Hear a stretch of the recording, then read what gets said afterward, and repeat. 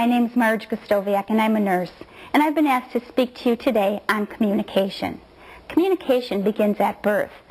We cry when we're hungry and we need to be fed. We cry when we're wet and we need to be changed. And we cry when we're lonely and want to be held up. This is pretty simple, but it gets a little more complicated as we go on in life. Communication, in my opinion, is the number one reason that problems exist at home, at school, and in our work relationships. It is one of the most valued traits of most employees, yet it's the least taught. But you're in luck today because this video series has chosen to include communication as one of its tasks. To review what we'll be going over today, there's four basic areas. First, we'll take a look at the four components or pieces that make up every communication. Next, we'll go into the two different types of communication. Thirdly, we'll go into the four different styles of communication, and we're going to end up with tips on listening. We'll get started with the components or pieces of communication. There are four. The first piece is the sender. This is the person giving the message. In the case of our video series today, I'm considered the sender. The second piece is the message, and that's the image, feeling, or idea that's being conveyed. In the example right now, tips on communication is what's considered the message. The third piece is the receiver, and this is the person that's getting the me message. Given our situation again today, you would be considered the receiver.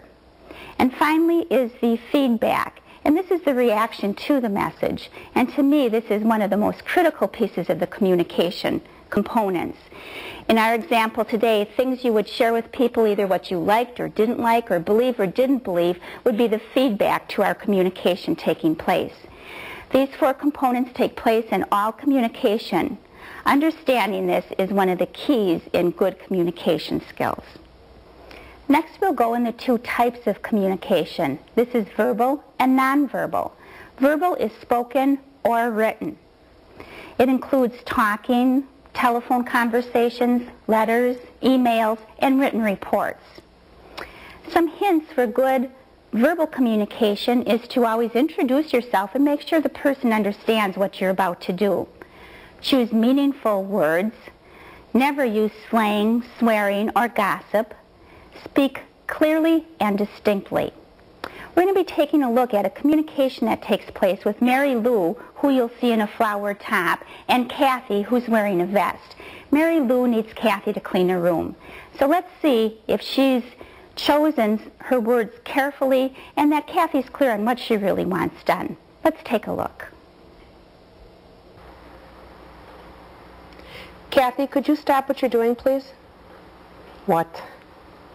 I just walked past Mrs. Gregg's room, and it is a mess. So? So, could you please clean it up? Why can't you do it? Because I'm the manager, and managers don't clean up rooms. Well, just because you're the manager doesn't mean that you can't clean it up. Kathy, you know that's your job. Please go do it. And if you don't like it, then punch out. I'm busy preparing the meals. I don't have time to clean up her room. You do it. Just go do it. Fine.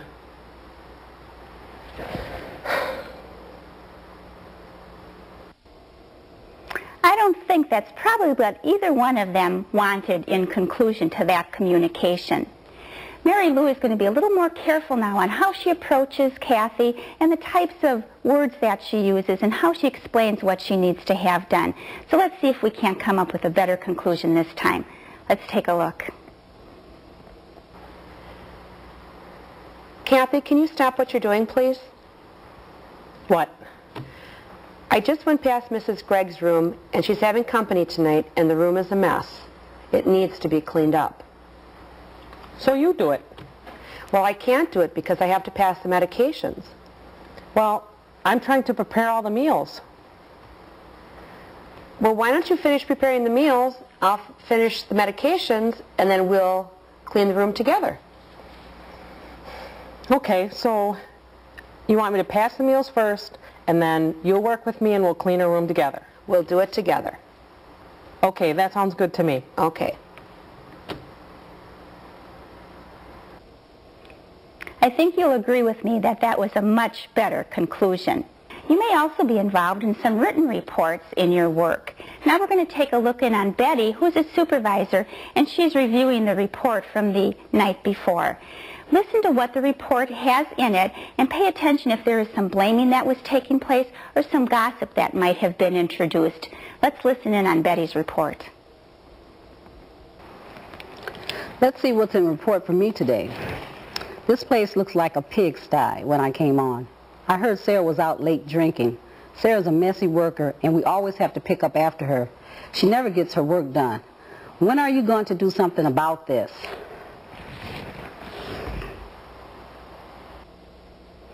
Now, I think Betty got a message with that report, but I think it might be a little colored by some of the gossip and some of the blaming that took place. Let's take a look at that very same report that's written differently, taking away the blaming and the gossip, and think what kind of message Betty got this time. Let me see what's in report for me today. This unit was a real mess when we came on. Clothes were not put away. The dining room tables was not washed. The garbage was overflowing. Let's discuss this. Betty, can we talk about this? I think that's a good idea. Now, Betty got the same information, but the gossip and the blaming was taken out of it. I think she'll be able to approach this by addressing the problem rather than attacking the person and probably get some better results. Now the next area we're going into is nonverbal communication. Nonverbal communication includes gestures, have, welcoming people, being closed off to people. It includes posture and body movement. It includes touch. You can have a gentle touch or you can have a firm touch. I need you to pay attention here. Eye contact is considered nonverbal communication. Silence, when you're wanting people to pay attention We're going to take a look at Betty on the telephone.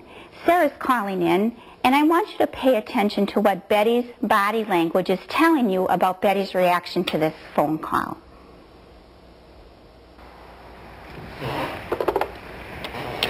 Fourth floor, Betty Hochstein, nurse. May I help you? Yes, Sarah? You're calling in. You realize that it's already 3 o'clock and you're calling in at 3? Yes, Sarah? Do you have a headache? Well, Sarah, consider this a verbal warning. I know you have a headache, but you have to give us amount of time for a call-in. Okay, Sarah, but this is a verbal warning. Goodbye, Sarah.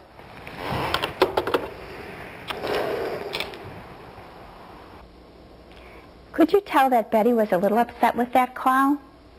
We're going to take a look at that same call now, and Betty's going to be showing a little more compassion and look for her tone of voice and her gesturing and her lack of sighs and see how that makes a difference in how that message is received.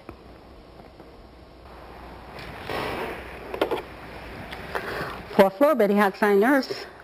Yes, Sarah. You're calling in? You don't feel well? Oh, that's too bad, Sarah. Well, you did call in enough time. I can get a replacement for you. Oh, okay, Sarah. I hope you feel better. Bye-bye.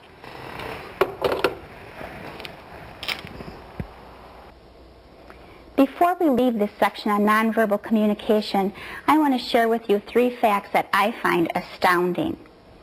Our body language communicates 55% of our communication. So how we're holding our position is going to tell people 55% of what we're intending to communicate to them. Our tone of voice accounts for 38% of our communication. So if we're angry and we have body language that shows that and our voice becomes sharp and more stern, that's going to communicate a message to that person. Now your actual words make up only 7% of the communication. So while it's important that you carefully choose your words, as you can see, it's even more important that your body language and tone of voice go with those carefully chosen words. Because with body language and tone of voice, that's giving that message 93%. This is an astounding fact, one that's very important to, for you to remember when you think miscommunication is taking place. We're going to go now to the four communication styles. Three of these communication styles don't work well at all and will guarantee to get us into trouble. And one of the communication styles is the one that works. So we're going to take a look at the same situation using the four different communication styles. In this scenario, two employees are concerned about call lights getting answered. Mary Lou in the flowered blouse has a concern that she's doing most of the answering of the call lights. And Kathy in the vest has a concern that she's answering most of the call lights. So let's take a look at the passive style first. Mary Lou continually takes in what Kathy has to tell her and she obediently goes about and does what Kathy tells her to do.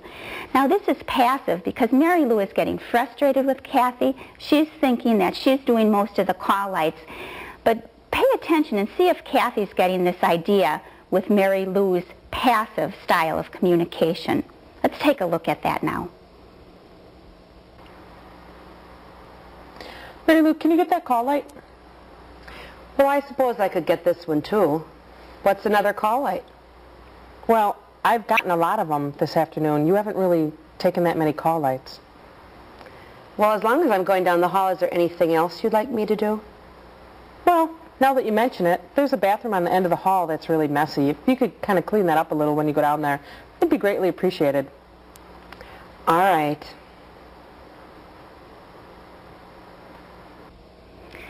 Now, do you think Kathy has any idea how disgusted Mary Lou's getting with the work situation? Mary Lou probably will remain disgusted, and if she stays in that passive communication style, she's going to choose to go work somewhere else. But she's going to find herself in that same situation unless she changes her communication style. Now the next communication style we're going to look at is aggressive. And you can tell an aggressive communication style because there's somebody attacking and someone defending. After that person defends themselves, they attack back. So you'll say, well, you don't do this. Oh, yeah, well, I do too, but you don't do this. I think we can clearly see the aggressive style in this next example. Mary Lou, can you get the call light? I'm sick of getting all the call lights.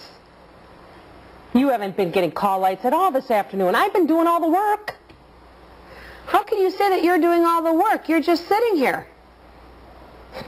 I've been sitting here until a call light goes off, and I'm getting up and I'm taking care of it, while you've just been sitting there all the way through.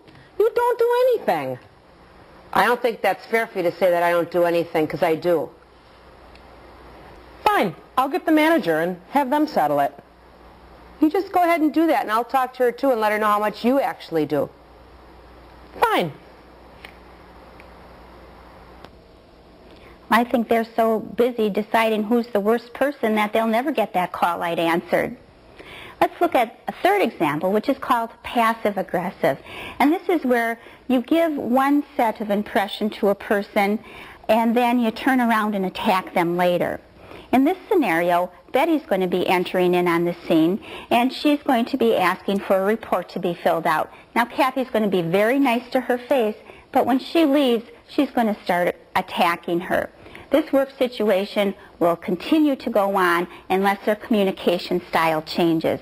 But let's take a look right now at what the passive-aggressive communication style looks like. Here's some documents you're supposed to sign and date. Nice outfit, Betty. Kathy. Oh, you're looking really good. Well, thank you. Um, there's a call light. Do you think you could get it? Sure.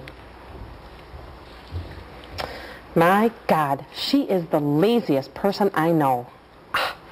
I'm telling you, you got to tell her to do every little thing that there is to be done. She won't do it on her own. Nothing. I'm sick of working with her. She's the only person that I know that I have to constantly tell, get the call light, Betty, get the call light, Betty. Everyone else at least hears it and takes care of it. Some people. Oh, you know. At least there's us. We're the hardest workers there are. That's true. You can see how the passive-aggressive can lead into gossip and how this feeds off of each other, and that problem's still not going to be taken care of. Now you're going to be exposed to all of those communication styles, but I'd like to have you take a look at what I consider the best communication style. And that's the assertive technique. And this works because it focuses on the issue. So you get away from that pointing your finger and blaming or, or being afraid to say what you feel. So let's take a look at this in action and see that how it can make a difference. Mary Lou, could you get the call light? Oh, Kathy, I've gotten so many call lights today. Can't you just get it? I've been getting just as many as you've been getting today. Oh, we got to do something about this. Well, what about if we meet over breakfast in the morning and try to work it out so that we're both getting an equal amount of call lights and that things are working out good for the resident? I like that idea. Okay, how about I meet you at 7 for breakfast? Sounds good. Okay. Now, I've had people look at this and say, yeah, like that's ever going to happen. But if you remember, you have control over how you respond. And if you use this approach and use the assertive style of communication, you're going to find that same success. Finally, we're going to address listening. First of all, let's consider why we want to become an active listener. Well, one reason is that people can free themselves of troublesome feelings when they're encouraged to express them openly. Best example I can think of is when you've lost someone that's close to you and you find yourself crying or you find yourself hurting. If someone's interested and wants to listen to you, you'll find yourself able to express what's painful to you in the loss of that person. And you begin to heal this way. So that's one good reason to be an active listener. Another reason is that it promotes a relationship of warmth between the speaker and the listener. If you know I have an interest in what you have to say, you're going to connect with me and you're going to feel that I'm a caring person. A third reason is that it helps with problem solving. If I'm listening to you and encouraging you to express yourself, you're going to find that you're going to come up with different solutions to problems. A fourth reason is that it encourages a mutual concern. The person will be more willing to listen to your thoughts and feelings. I'm interested in you, you're interested in me. And pretty soon we're working together to solve problems. The fifth reason is that it'll keep the ownership of the issue with the person. This is your issue. I'm willing to listen to you, but I need to keep focusing and back on you so that you begin to deal with it. And finally, an empathetic understanding can bring about positive changes. And what does this mean? This means that I'm with you, I'm understanding what you have to say, and I care very much about it. And although it's still your issue, you know you've got a friend and a good listener so that you can bring about those changes. Now you have to have a special attitude when you're listening to someone, and these are very important. Number one, you must really want to hear what's being said. If you're talking to me and I'm, you know, busy checking my date book, that's not going to let you know that I care about what you have to say. You must also want to be helpful, and this will show in your response. You communicate something to me, and if I want to be helpful, you'll hear that in my voice, in the way I listen to what you say. Thirdly, you must be able to accept feelings. We may not feel the same way about something, but as a listener, it's important that I put my feelings aside because what's important in listening is what you're conveying. Number four is believe that that person has the capacity to handle their problem. I'm not going to jump in and give you solutions or jump in and give you my experience because it's your issue and I'm the listener in this role one good thing, number five, is that feelings are not permanent. And I think the best example is disasters in our life, where we're sure the world is going to end and we can't believe, you know, how unjust life is to us. But then years later, we're able to express it and it's funny and we laugh about it. So that's the good things, that feelings can change. They're not permanent. Number six is accept that it's very difficult to listen when you're talking. There's no way you're going to believe that I'm caring about what you have to say if I keep interrupting and giving you my viewpoint. And lastly, it's important to listen to understand and not to reply. I can't be thinking of what I want to say, how I want to interject my experience. I have to listen to understand. So questions I ask are going to open up a better understanding of the communication that's taken place. Now we're going to look at three scenarios. The first is Betty is going to be going to Kathy. She has a trip plan and she needs to verify and make sure that she's got that time off. Kathy isn't using the best of listening skills. In fact, she seems to be pretty preoccupied with something else. But let's take a look at what that looks like. Hi, Betty. Did you want to talk to me about something? Yes, Kathy. I put in my uh, six months request because you know I'm going to Puerto Vallarta and I have to, Kathy, Yeah, I'm listening, Betty. I'm just getting a pen.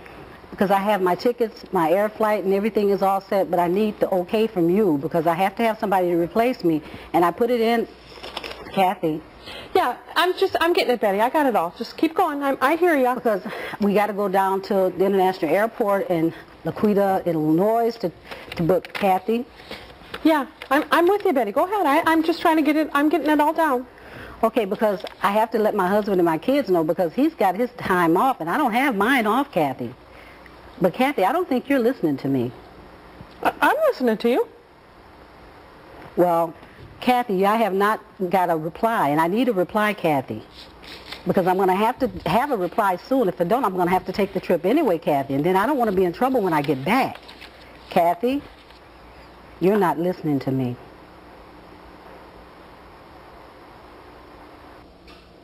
Now, it's quite obvious that Betty knew Kathy wasn't listening to her. She didn't get an answer, and Betty was pretty frustrated at the end. Now we're going to look at Kathy being anxious to give her opinion, and you can see how this affects the communication. Hi, Betty. Come on in. Uh, is there something that you wanted to talk to me about?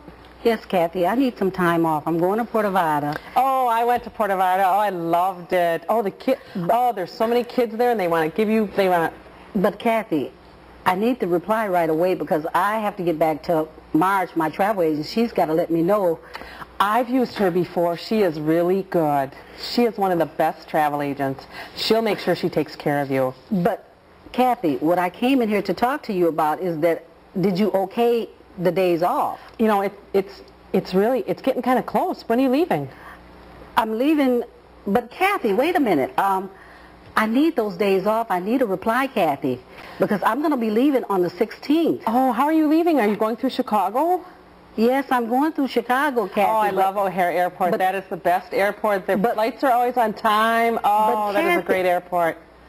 I still need you to give me a reply. I can't fly to the uh, Port of Vallarta unless You you, know, give the me... last time I flew, we were we were delayed when we were leaving out of Atlanta, so they put us up in a hotel. Oh, it was so nice, and it was all paid for. Kathy, do I have the days off? In this case, I think Betty was doing as much listening as Kathy was. She was so eager to get her opinion in, and again, Betty still doesn't have an answer to her question. The last example we're going to look at is Kathy showing that she's an active listener, that she has those traits of wanting to understand what's being said and being helpful. And this time I think Betty's going to get her answer. Let's look. Hi, Betty. You wanted to see me about a scheduling problem? Yes, uh, Kathy, I had put in a request six months ago because I'm going to Puerto Vallarta between the 16th and 23rd, and I haven't had a reply yet. So you said that you put it in six months ago, um, and you, you did put down the dates the 16th through the 23rd? Yes, I would like to know, is it okayed? Okay. What I'm going to do is I'm going to do some checking, and I can get back to you sometime today to let you know for sure whether or not that's going to be okay. That's great, Kathy. Thank you. I don't know about you, but I'm glad Betty's finally going to find out that she can take that vacation. In summary, we've covered the pieces that make up communication. We've covered the types of communication. We've covered four different communication styles that you'll be coming in contact with. And you've gotten some real good tips on listening. Now, I think it's important that you review this tape, you listen to it again, you talk about it with your coworkers, with your family, and try some of these techniques out. If you master the skill of communication, you'll have discovered the key to a satisfying and productive relationship with your friends, at home, and in your workplace.